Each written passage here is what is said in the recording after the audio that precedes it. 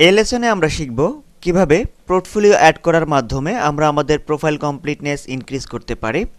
আর এই অপশনটি আমরা পাবো ঠিক এডুকেশনের নিচের দিকে।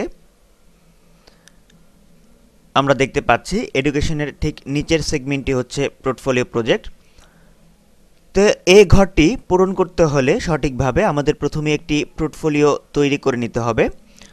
তো চলুন প্রথমে আমরা দেখে নিই কীভাবে পোর্টফোলিও তৈরি করতে হয়। এখন আমাদের একটি জিনিস অবশ্যই খেয়াল রাখতে হবে।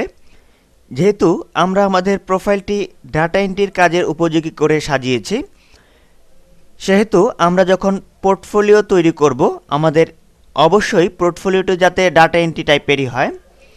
তো এখন আমরা ধরে নেই, আমাদের একটি ওয়েবসাইট আছে এবং সেই ওয়েবসাইটে আমরা একটি আর্টিকেল লিখেছি। সেই আর্টিকেলটির পোর্টফোলিও আমরা এখন তৈরি করব। তো আমরা এখন ব্রাউজারে একটি নতুন ট্যাব নিয়ে আমাদের সাইটটি ওপেন করছি ইজিটেকটিভস ডট নেট আমরা দেখতে পাচ্ছি আমাদের সাইটটি ওপেন হয়েছে। তো আমরা ধরে নেই, এই আর্টিকেলটি আমরা তৈরি করেছি twenty plus three interior design model for inspiration এখন এই আর্টিকেলটি আমরা এখান থেকে কপি করে আমরা এমএস ওয়ার্ডে একটি নতুন ফাইল খুলব।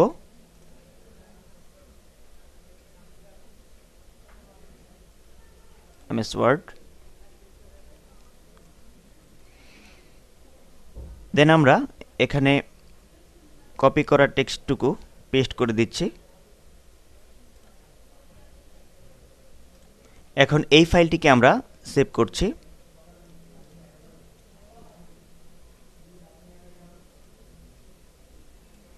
পোর্টফোলিও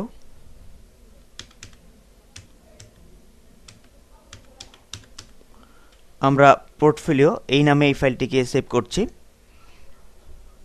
ডেস্কটপে সেভ করলাম। এবং ফাইলটি আমরা ডক এই ফরম্যাটে সেভ করলাম। ডট ডক অর্থাৎ পূর্বের ভার্সনে সেভ আমরা এমএস ওয়ার্ড ক্লোজ করে দিচ্ছি। এখন আমাদের আরেকটি কাজ বাকি আছে। আমরা কিবোর্ড থেকে এখন প্রিন্ট স্ক্রিন কিটি চাপছি। আমাদের এই এন্টায়ার একটি ইমেজ নেওয়ার জন্য। দেন আমরা চলে যাব ফটোশপে আমাদের ফটোশপ পূর্বে ইনস্টল করা ছিল। আমরা ফটোশপ সফটওয়্যারটি ওপেন করছি।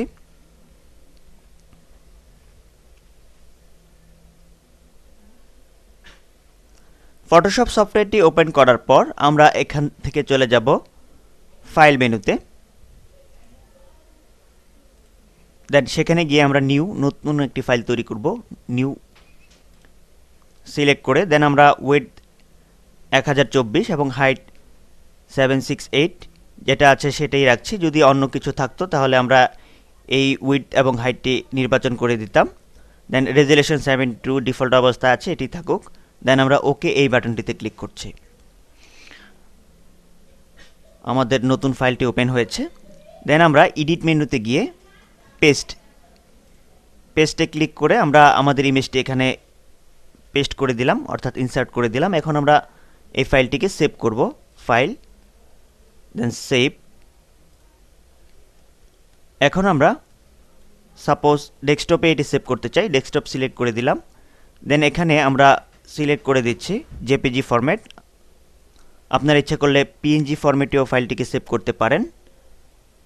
তো সাপোজ আমরা এখানে লিখে দিচ্ছি।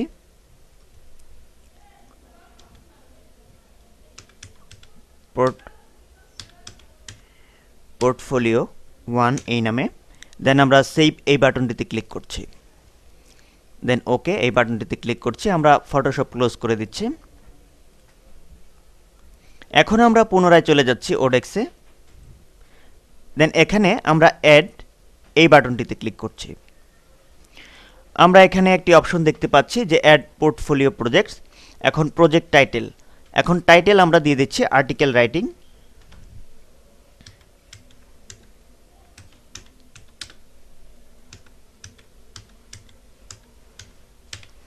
আর্টিকেল রাইটিং এখন এখানে ব্রাউজ এই বাটনটিতে ক্লিক করে আমরা একটু আগে যে ইমেজটি তৈরি করেছি, সেই ইমেজটি আমরা দিয়ে দেব। আমরা ইমেজটি ডেস্কটপে সেভ করেছিলাম।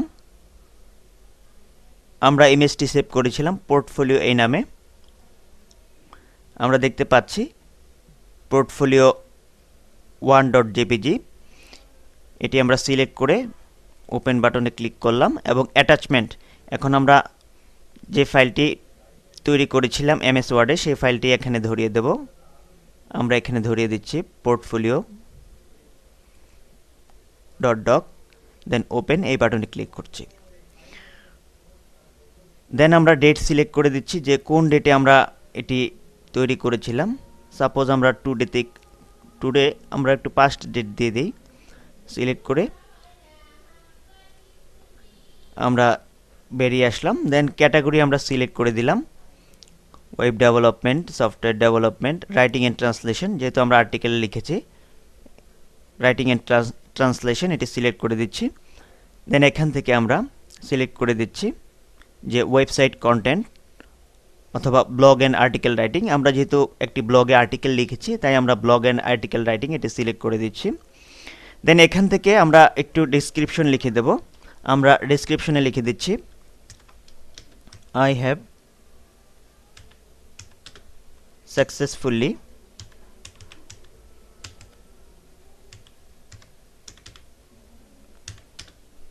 completed